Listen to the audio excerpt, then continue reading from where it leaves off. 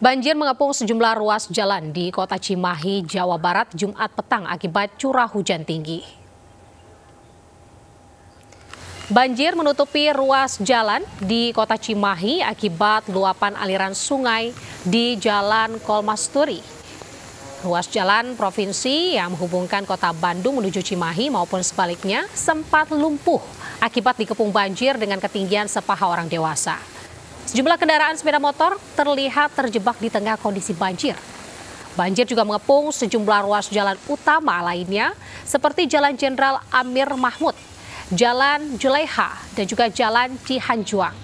Ini terjadi akibat curah hujan tinggi selama dua jam, kemudian diperburuk dengan buruknya saluran drainase sehingga luapan air ini meluap ke ruas jalan. Gak bisa masuk, Mbak.